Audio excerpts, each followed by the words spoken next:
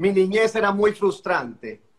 Y sucedió algo un día cuando cumplí los 12 años. Y yo decía, me quedé en la parte donde eh, por primera vez entablé una conversación con Dios, una oración. Y fue que me acosté esa noche luego de un evento muy feo que sucedió en mi casa, estando yo eh, junto a, dos de mis hermanas y a mi mamá y a algunas vecinas, recuerdo en el patio de mi casa. Eh, escuché a, una de mis hermanas decir que yo también era una carga, aún en la casa de mi mamá. Y cuando yo escuché estas palabras, recuerdo que mi mamá tenía un, un nosotros decimos machete, eh, un pulsón, un cuchillo largo. Y yo lo agarré y me puse sobre él delante de todo el mundo y me iba a lanzar. Y les dije, si no me querían, si no podían tenerme, ¿para qué me trajeron del campo hacia esta casa.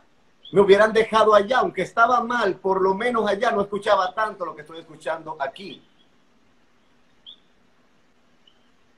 Y en ese momento recuerdo que una vecina muy sutil comenzó a hablarme palabras lindas y mira con qué me convenció, con lo que yo necesitaba escuchar.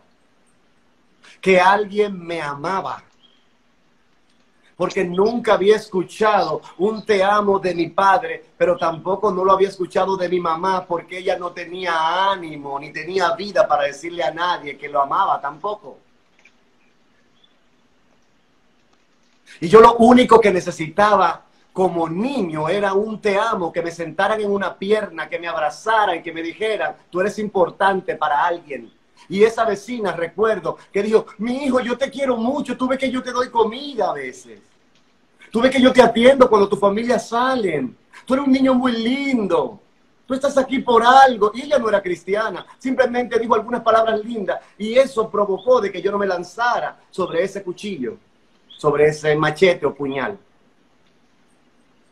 Y recuerdo que esa noche cuando me agarraron, ahí, bueno, más que mi mamá y mi hermana medio me dijeron, tranquilo, que esto se va a resolver, yo estoy trabajando, que me allantaron, pero yo sabía que todavía faltaba algo.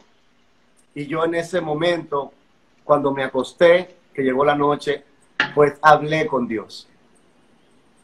Y le dije, si tienes un plan y un propósito conmigo, porque yo era muy abierto de mente, si tú existes,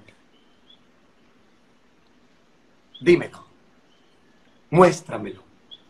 Y esa noche tuve un sueño donde Dios me estaba haciendo mi primer llamado. Y ese sueño me lo hizo a través de su venida. Yo vi como un arca de oro venía del cielo. Y yo estaba en medio de una calle y yo sabía que detrás de mí venía mucha gente caminando, porque yo sentía sus pasos.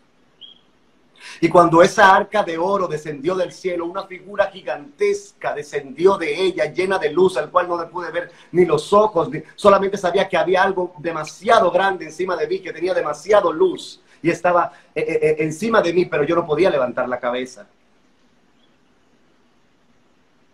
Y yo le dije, Señor, porque parece que mi alma sí lo reconocía, yo no. Yo recuerdo que dije estas palabras, Señor, si eres tú, habla. Y me habló y me dijo, tengo un plan y un propósito contigo.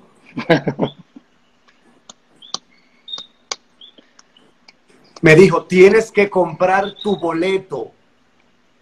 Y eso como que no lo entendí bien. Tienes que comprar tu boleto. Y yo le dije, yo no sé mucho de esto. Y me dijo, el boleto se compra en la tierra.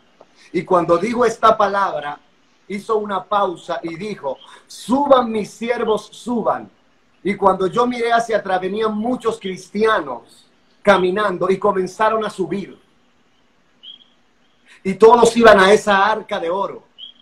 Entonces yo le pregunté, ¿y por qué yo no puedo subir? Y él me dijo, porque todavía no es tu tiempo y no has comprado tu boleto. Hmm. Cuando yo me volteé, recuerdo que vi una parejita de viejitos y los recuerdo como hoy. Y yo decía, se me quedó grabado el, el rostro de esos dos viejitos que subieron agarrados de mano. Y cuando terminó el sueño, yo desperté todo sudado y tenía a mi mamá y a mi hermana al lado mío con un abanico encendido diciendo, él, parece que tiene una fiebre y está convulsionando. Y cuando desperté, me dijeron, estás enfermo, estás malo. Y yo le dije, no, tenía un sueño. Y ella me dijo, un sueño no, una pesadilla. Y yo le dije, no, no, no, no era una pesadilla. Era un sueño muy fuerte. Y ahí mi hermana, mi misma hermana, me dijo, cuéntamelo. Y cuando se lo conté, ella misma me dijo, es que Dios te está llamando y tiene un plan y un propósito con tu vida.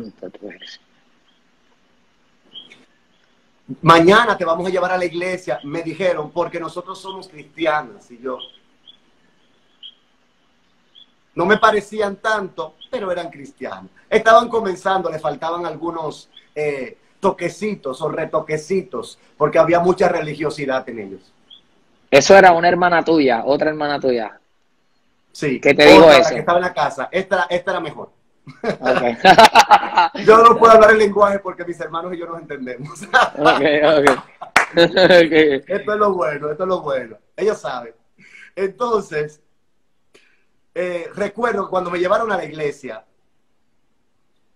fue muy poderoso porque primera vez que, llega, que yo iba a la iglesia, y cuando entré a la puerta, comencé a hablar a mi hermano y le dije, la señora, la señora. Y me dijo, ¿qué es lo que te pasa? Yo le dije, la señora, la señora. Dice, ¿qué pasa con la señora? Y dije, esa señora yo la vi en mi sueño. Ella era la que estaba detrás de mí anoche, en el sueño que yo tuve. Yo vi a esa señora en mi sueño. Y mi hermana dijo, bueno, ahora el chamaquito medio, está medio tostado. el chamaquito se me está poniendo loco. ¿Y sabe qué pasó? Que pasó todo el servicio, era una iglesia donde daban los servicios, que pasaba un hermano cantaba, después otro, hasta que al final iba la persona a predicar. Recuerdo que era un servicio de caballero. Y cuando pasaron todos y ministraron, le tocó a un señor predicar al presidente de los caballeros. Y cuando este señor se para ahí, yo le dije a mi hermana, y estoy delante de ti, del mundo y en presencia de Dios y de mi hermana que conoce el testimonio y las personas de esa iglesia que yo me convertí también conocen este testimonio que yo le dije, ese era el Señor, pero él tenía un sombrero en, el sueño, ese era el Señor. Y mi hermana hizo así, Dios mío, y fue y llamó al presidente de los jóvenes, al líder juvenil, le dijo, mira, espérate, que mi hermano le están pasando unas cosas que están fuera de serie.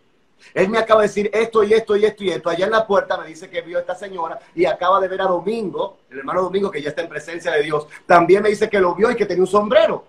Y me dice, y, es la primera vez que él viene a la iglesia. Y me, dice ella, sí, es la primera vez, por eso estoy diciendo. Y Domingo es el esposo de la hermana fulana, que está afuera. Iban agarrados de mano en su sueño, es verdad. Ahí oraron por mí, hablaron por mí y mi vida comenzó a cambiar. Venía con un rencor desde niño porque no sabía el por qué mi papá había muerto. Era niño, no sabía, no me lo habían dicho, lo supe porque vi una foto y le pregunté a una tía y me dijo, ah, ese es tu papá. Y le dije, ¿dónde está? Y me dijo, murió. O sea, así de sencillo. Era muy cruel mi niñez. Pero todo esto tenía que ver con el plan y el propósito de Dios para mi vida. Porque después de 20 años, donde voy a llegar a lo poderoso, recuerdo que cuando comencé mi ministerio, en mi primer viaje a Estados Unidos, regresé a mi casa y tenía deseo como buen dominicano de comerme unos fritos con salami, o sea, fritos con tostones fritos. Y le dije a mi mamá, necesito que me haga unos frito con salami, como decimos nosotros acá. Mi mamá comenzó a hacerlo.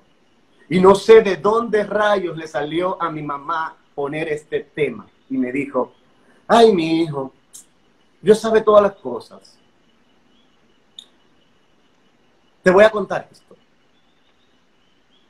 Cuando tú caíste en mi vientre, yo no te deseaba, porque no estaba en mi mejor momento con tu papá, no tenía un solo peso encima, ya estaba muy vieja, no tenía nadie que me ayudara. Y el mismo médico me había dicho que yo no podía volver a quedar embarazada porque yo tuve todos mis partos naturales y que podía correr, correr mucho riesgo de quedar embarazada nuevamente.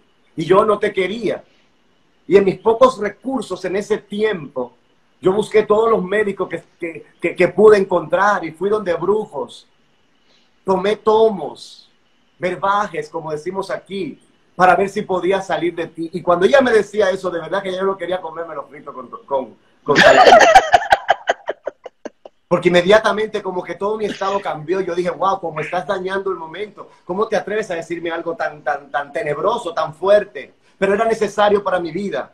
Porque la recuerdo y está en presencia de Dios ya, pero recuerdo cuando se volteó y me dijo, mi hijo, tengo que decirte algo, no lo tomes a mal. El propósito de Dios era tan grande contigo que ni yo misma, tu propia madre, lo pude impedir.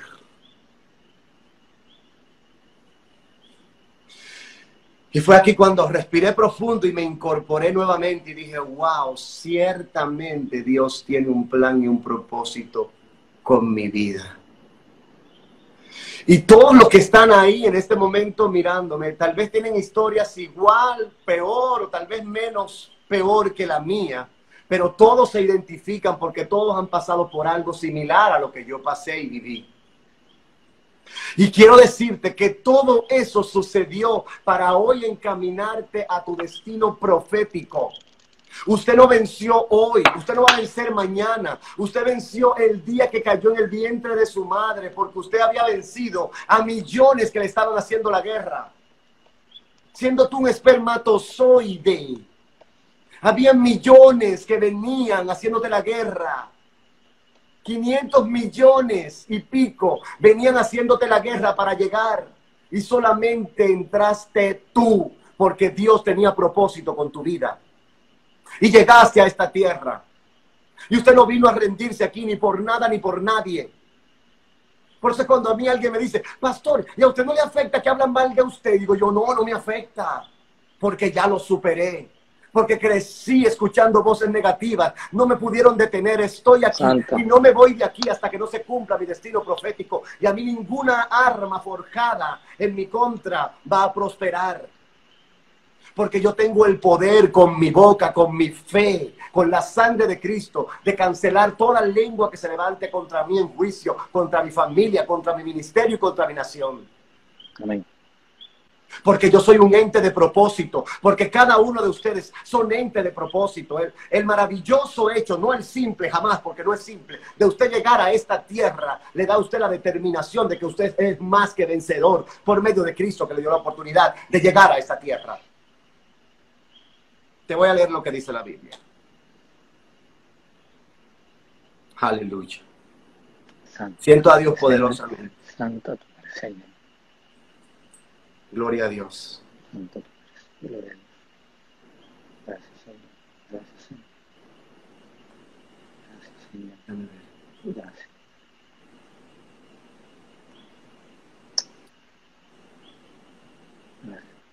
Jeremías 29:11 dice, porque yo sé los planes que tengo para con ustedes, declara el Señor. Planes de bienestar y no de calamidad, no de mal, para darles un futuro y una esperanza. Y me gusta la versión Reina Valera que dice, para darles el fin que ustedes desean. Jeremías 29:11. Solamente Dios sabe los planes, los propósitos que tiene con cada uno de nosotros. Y estos propósitos se descubren viviendo la vida, viviendo cada día dejando que Dios haga lo que Él quiera con nosotros, entregarnos en las manos del Señor, entregar en nuestra vida nuestros talentos, nuestros dones, todo lo que somos y todo lo que tenemos al Señor y depender de Él. Es bueno que la gente sepa que el cristianismo, el evangelio, la Biblia no es una religión, es algo que te encasilla, no es una ley, es una gracia, es un regalo. El mismo Jesús dijo, ustedes no me escogieron a mí, yo fui quien los escogí a ustedes, Él me escogió a mí. Yo me iba a quitar la vida y él me escogió. Una vecina sin ser cristiano simplemente detuvo mi error, mi pecado, con brindarme una palabra de amor, con decirme, tú eres tan lindo muchacho. Mm, gloria a Dios. Dios tiene algo contigo. No, yo te quiero mucho. Tú ves que cuando yo puedo ayudarte, yo te ayudo. Y tú vas a ver que te vamos a ayudar. Y con eso simplemente, con una palabra, palabra de amor, me salvó la vida. Y aquí donde Dios me ministraba anoche, de ser menos cristiano y más humano. Por eso el Señor cuando vino a esta tierra nos dijo a nosotros, ustedes son hechos por medio de mí, hijos de Dios. Y cuando nosotros, como cristianos, nos ponemos tantos apellidos, nos alejamos de la familia, nos alejamos de lo fraternal, nos alejamos del propósito de Dios, que es que estemos unidos. Si todos somos hijos de Dios, ¿por qué tantos apellidos? No es lo mismo un medio hermano a un hermano. Nosotros no somos medios hermanos, somos hermanos, hijos del mismo Dios, creados por el mismo Dios. Y hay gente que va a decir, Yaroide no es así. Una cosa es ser hijo de Dios y otra es ser criatura de Dios o creación de Dios. Y te voy a decir que no. Aquí todos somos hijos de Dios. El asunto es que hay muchos hijos de Dios que hoy están descarriados, porque yo estuve descarriado y no dejé de ser hijo de Dios.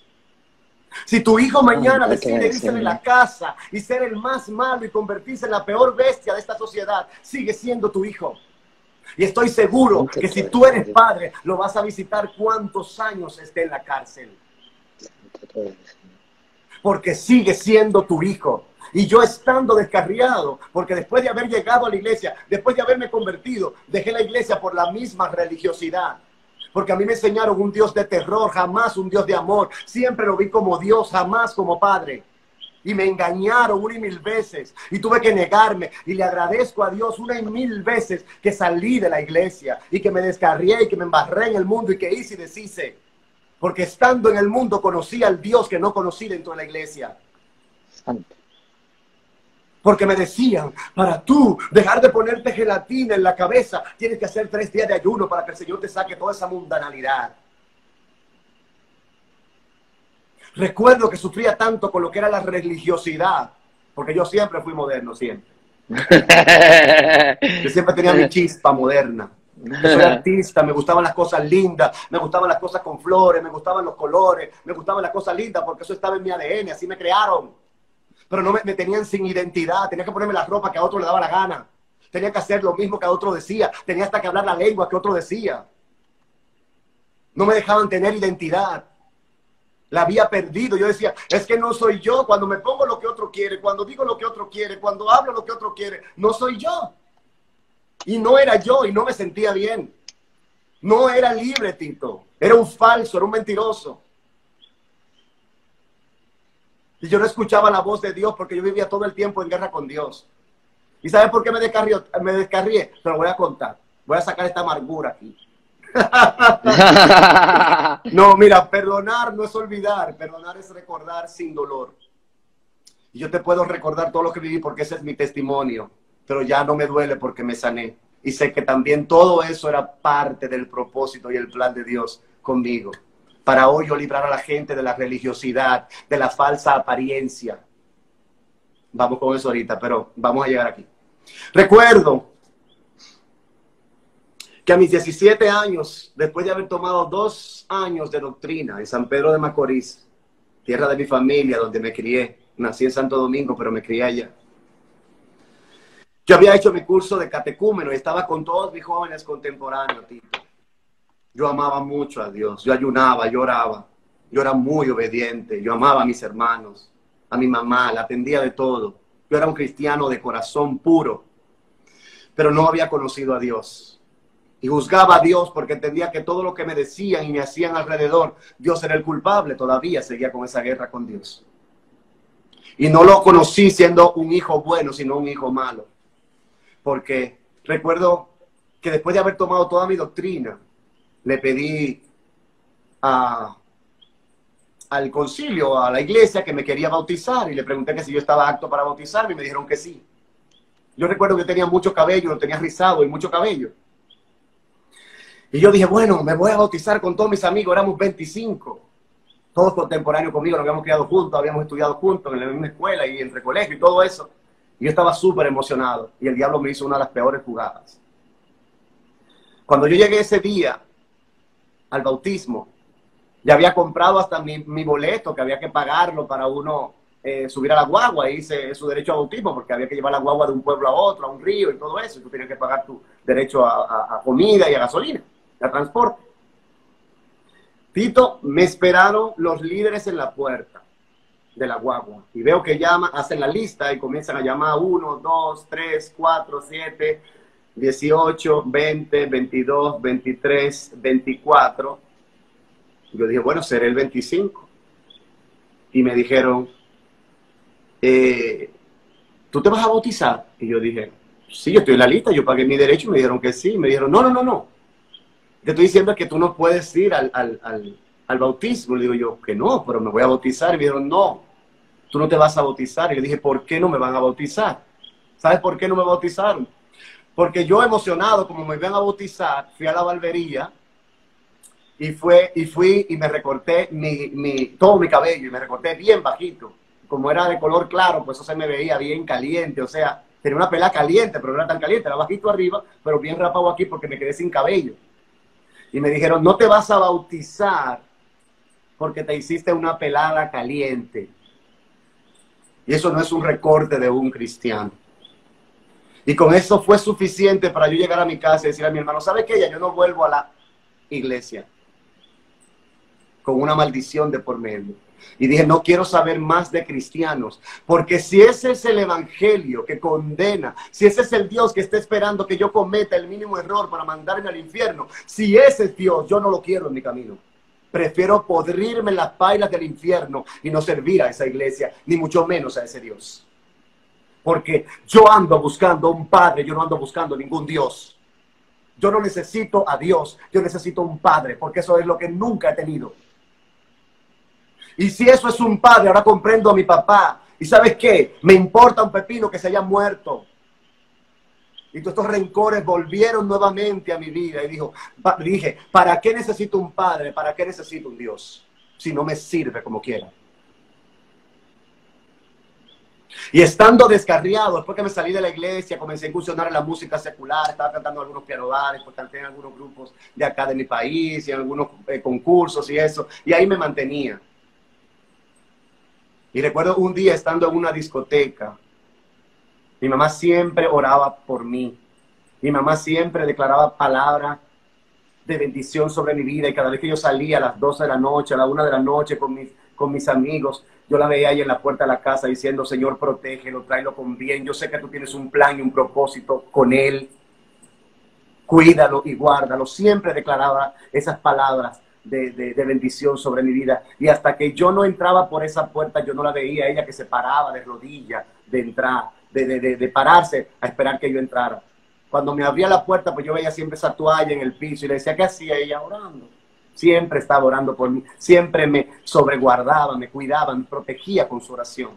Y sabe lo que Dios permitió para que yo escuchara su voz, su poderosa voz, que ya había olvidado por tantos años, desde mis 12 años que la había escuchado, porque me la habían empañado, me la habían dañado, me habían enseñado un Dios de horror, un Dios de terror, el Dios de juicio, un Dios sin amor, sin piedad.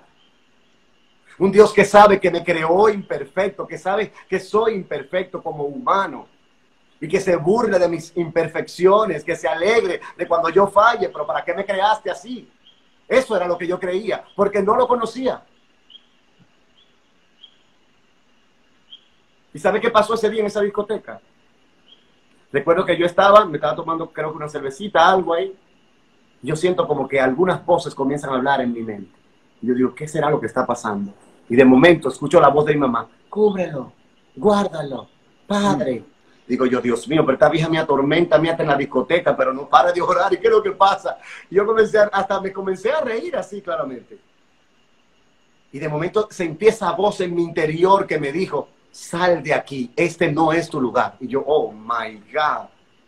Y recuerdo que le dije a los amigos míos, oigan algo, eh, yo me voy. Y me dijeron, oye, ¿cómo que tú te vas? ¿Porque venimos todos juntos? Oh, pero bueno, ¿qué es lo que pasa? Digo yo, oye, de verdad, como que no siento estar aquí. Y como yo siempre tenía cositas de cristiano y soltaba algunas oraciones y ciertas cositas de vez en cuando, me dijeron, ya vienes tú con tu cosa. Tú eres cristiano y no lo sabes. Ya eso que tú sientes como una cosa de los cristianos, ¿verdad? Yo decía, No, no, no, yo siento como, como, como que me tengo que ir de aquí. ¿Sabe que vayan ustedes? Me iba a juntar si me voy. Para, pedí mi taxi y me fui.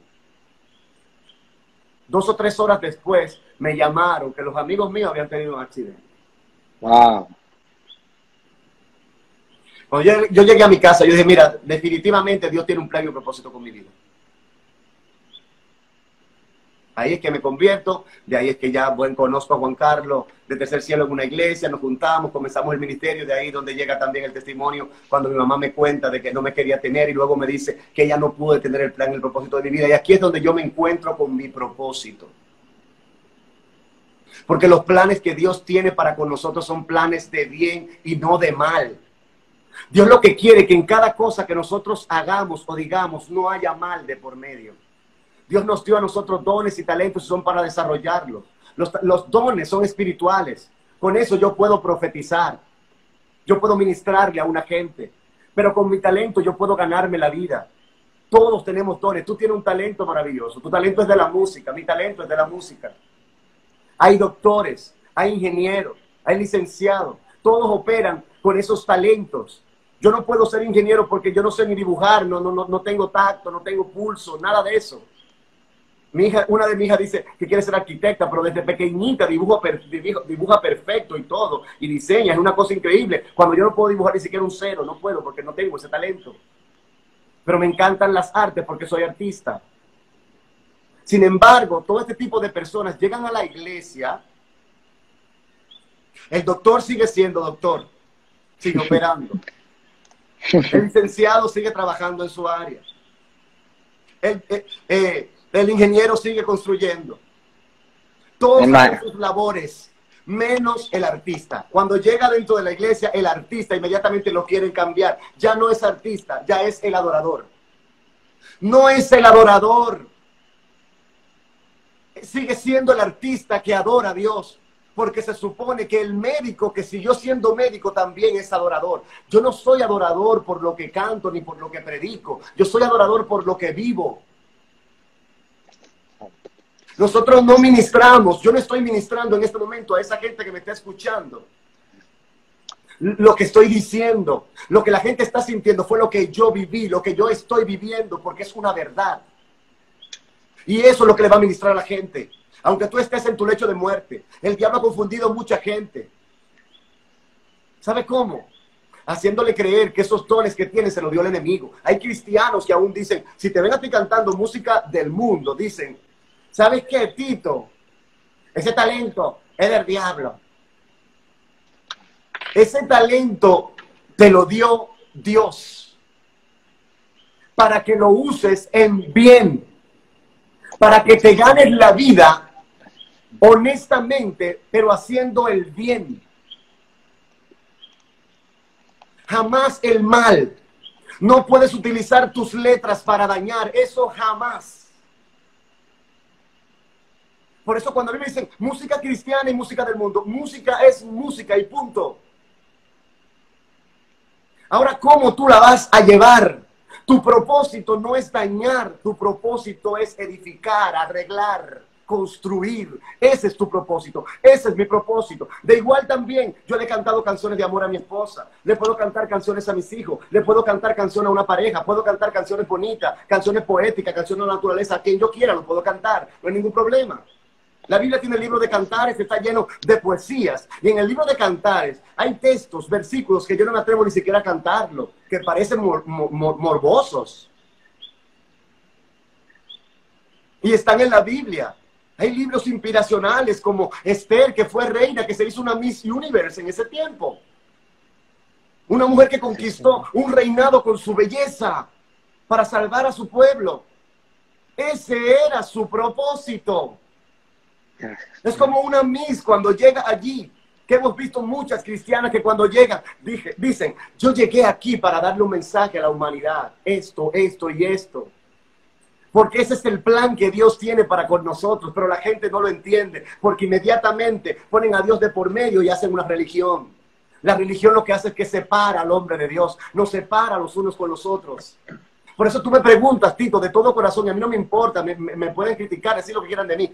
Marco, ¿de qué religión tú eres? Te voy a decir de ninguna. Y si me dices, Gracias. Marco, ¿de qué denominación tú eres? Yo te voy a decir, Tito, yo no soy de ninguna denominación. ¿Cómo así? Si tú me preguntas, ¿qué tú eres? ¿Evangélico? Te digo, yo soy evangélico porque predico el evangelio, pero no me llamaría evangélico. Te estoy diciendo algo muy fuerte y muy comprometedor. Pero estoy siendo realista, porque esto es lo que yo conozco y yo hablo verdad. Y así me puedo acostar tranquilo cuando me toque ahorita. Santo. Gracias, Señor. Porque estoy diciendo la verdad, lo que he vivido y lo que he aprendido. Yo no soy pentecostal. A mí no me define una fiesta que celebró Israel o que celebra una vez al año la fiesta de Pentecostés. Yo no soy bautista, nada más solamente seguidor de Juan el Bautista. Yo no soy menonita ni metodista. ¿Por qué? Porque son diferentes apellidos. Hay un solo Padre, un solo mediador entre Dios y el hombre, dice la Biblia, Jesucristo, hombre, nuestro hermano, el que nos hizo coheredero con Él, para que heredáramos igual que Él, quien dijo, el Padre que está en el cielo, Él nunca lo llamó Dios, siempre lo llamó Padre. La gente tiene que saber que no tiene que acercarse a Dios por Dios, sino por Padre. Él te está ofreciendo su paternidad y Él tiene un solo apellido. Él habla de la familia, de la fe. Pero sabes algo, que el, simple hecho de alguien ser pentecostal, que se conocen por un tipo de ropa, y alguien ser eh, mm, bautista o metodista, que son un poquito supuestamente más libres, o los neopentecostales, los modernos, como quiera que le pongan el nombre, siguen sirviendo al mismo Dios, orando lo mismo, esperando al mismo Cristo, teniendo el mismo Padre, pero viviendo en diferentes casas.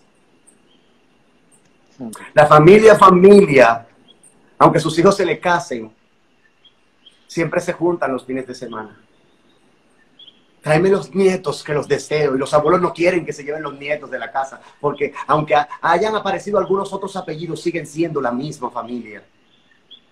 Pero la maldición más grande que ha traído el enemigo sobre esta tierra es la religión. Y más bien dentro de las iglesias, la religiosidad. Que es lo que hace que se separen los unos de los otros.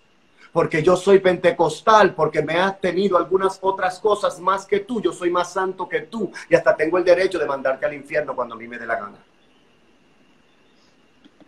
¿Sabe por qué yo estoy hablando de esto hoy? Porque esto es lo que yo he vivido todo el tiempo. Yo viví la religiosidad en carne viva, lo que a mí me sacó de la iglesia, lo que a mí por un tiempo me hizo odiar al mismo Dios. Pero si Él me habló, yo he estado embarrado en mi pecado, estando muy embarrado en mi pecado, yo dije, ese es un padre, porque eso hacen los padres cuando ven a sus hijos en desgracia, aunque hayan peleado con ellos cuando salieron de la casa, salen a buscarlo donde estén y cuando llegan allí lloran y le dicen, hijo mío, perdóname hasta por lo que no te hice. Eso es un padre. Y yo no te estoy hablando de ningún Dios. Yo te estoy hablando del Padre que a mí siempre me hizo far- falta. Y el día que conocí a Jesús, hasta el sol de hoy, no me ha hecho falta un abrazo. Me regaló la familia que nunca tuve, una esposa que me ama, que me respeta, que me cuida. Hijos amorosos que me aman, que hasta me, me hastían a veces de tanto que me aman. Y cuando viene, ya me abrazaste tres veces hoy, tranquilo. Eso es demasiado en Dios. Y todo esto, si yo no hubiera entendido que era parte del plan y el propósito de Dios, no hubiera estado aquí hoy contándolo. Si hoy estoy aquí, es porque fui más fuerte que el proceso. Si hoy estoy aquí, determina que soy más que vencedor. Esta palabra va para ti ahora. Si tú estás aquí, es porque Dios todavía tiene un plan y un propósito contigo. Si tú todavía estás aquí, Dios va a hacer algo contigo. Tú no estás aquí por casualidad. Yo no iba a estar aquí. Y mira dónde estoy. Y mira los que he traído al mundo. Mira lo que a través de mi ministerio hoy se han salvado, se han rescatado. Cada vez que yo veo a alguien que llega a la iglesia, cada vez que yo veo a alguien que me dice hasta padre, a veces me dicen, o papá, como quiera que me quieran decir, es porque están agradecidos y me dicen, wow, tú eres un padre de multitudes. ¿Cuánta gente han venido a los pies de Cristo por tu testimonio, por tu ministerio? Gracias por existir. Y cuando me dicen ah, eso, me acuerdan el propósito de Dios.